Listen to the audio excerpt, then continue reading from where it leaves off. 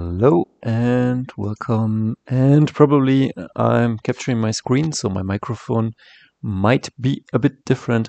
And today I'm sharing with you um, what I've done here. I think you can see the whole screen. Let's see.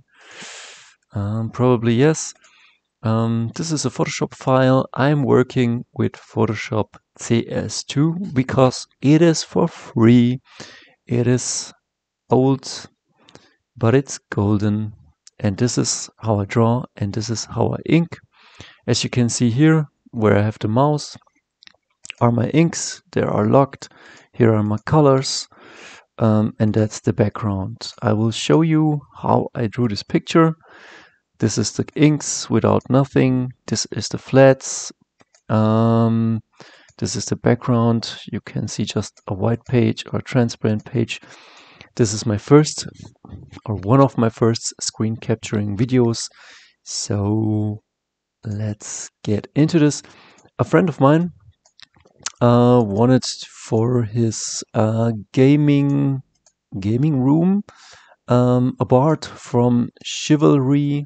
I think that's the name.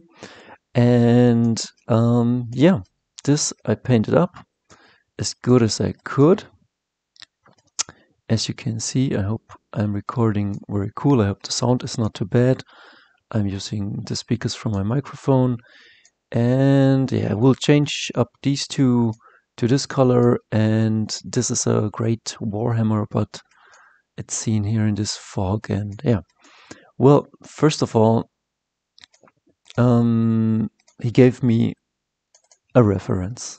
So it's not all um, from my imagination, but that's okay because artists um, copy and steal from other artists. As you can see, I took a lot of the stuff, not copy pasted it, but um, that's how the customer wanted it or the commissioner.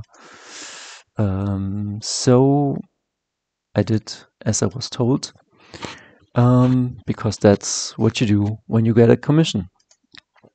And he told me you can do it in your style. And as you can see, this is very Frank Frazetta-esque. And I took this picture and I put it on 55%. And I love painting on paper. And I would have loved to paint, paint of paper. Um, I have more fun doing it and also I feel my drawings are better on paper sometimes but working digitally because like he wants to print this out in um, image image size 60 centimeter to 80 centimeters. He wants to put this not on a poster but um, on a canvas and he wants to print it digitally and he's a friend and i told him yes i can do this. These are the flat colors. We get into this. And then we see his character from chivalry again put on uh, 78%. This is how he sent it to me. Uh, this is a screen capture. And um, I merged it. I merged it from these two pictures um, and got the pose and inked over it. As you can see, it's it's a mixture of both.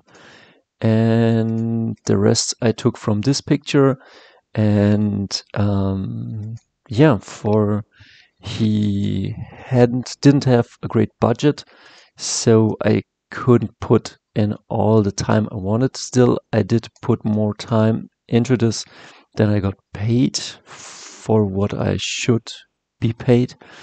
It's just what it is. So um, I put in the quality I could afford, but it's not my best work, but it's also not my worst. As you can see, um, this is I copied this guy or kind of was inspired by um, by, the, by Empire book from Warhammer uh, fifth edition or something like that. And then it came together. Like first, I'd try to paint it up, and with as much love as I could put in. Wait a second, and um, it turned out pretty good. Um, but it's not all perfect, but it holds up as good as I can. It's a pretty messy picture, um, but then wait till the colors are in on this and it makes a lot more sense. So when you zoom in, it's not too fancy, but it does hold up pretty okay. Um, these are the pure flats, as you can see. Um, I will show you a video like Ralph Niese did it, my mentor that he, he, he died last year. Oh, here I did a mistake. Here I colored over. Mm, okay.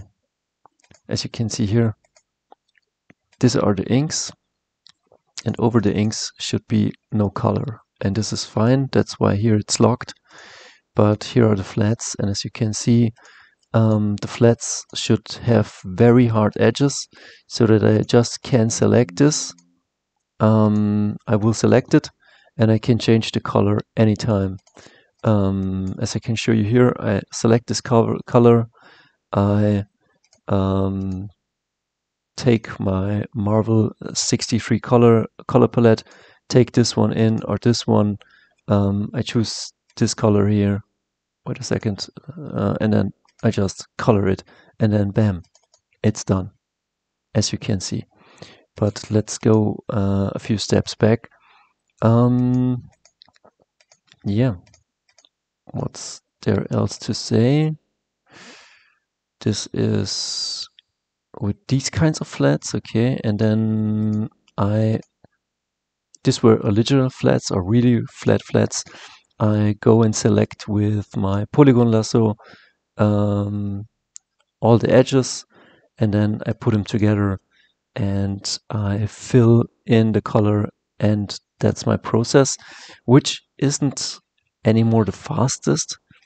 Um, I maybe should upgrade how I do it and I will tell you how my mentor did it then. But as you can see, there are no white spots. There are um, the lines cover up these edges or will be smoothed out um, when I resize it. Um, usually when I do a comic page, I work in 600 um, dpi, pixels per inch. And then when I make from 600 to 300, um, you will see no hard edges. You will only see soft edges. But with this picture, I have to see how I solve this. Um, I maybe resize it up and resize it down a bit and lose a bit of the sharpness or maybe um, as you can see I had original flats like this and then I copied it and I started to make something different with it and maybe I need uh, uh, a third layer to soften out some of the edges because otherwise you will see uh, these edges that are not covered by the black lines. Some some of these um, are covered in black lines, so you won't see.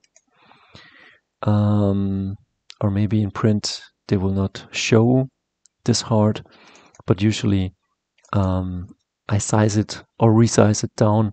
So if I would show you, um, oh wait a second, I just open up one that I resized. Like this is one of the finished pieces that I sent to him um, and that he can put now into print.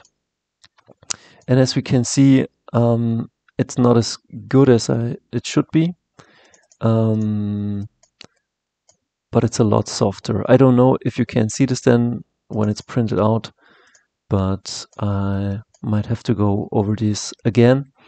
Um, in my comment pages you will have no hard edges. Um, let's see, print size. If you have this print size, and if this is your print size, you won't see any edges. Like this is, this is what you get. This is how it will look like, um, and it will look good.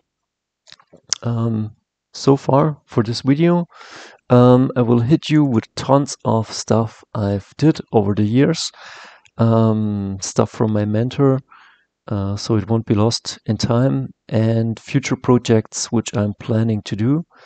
And yeah, let's keep rocking and well my wish is to find a thousand or two thousand true fans that support me on patreon um, and that i can give value to you um, whether it's artwork or comics or other stuff and you support me on patreon or buy stuff from me i know everybody's doing it nowadays but i really think i have something going on for myself i'm not yet the best craftsman but I definitely have a distinct style and feel to my stuff. And if you like it, please support me or write me or let's figure something out.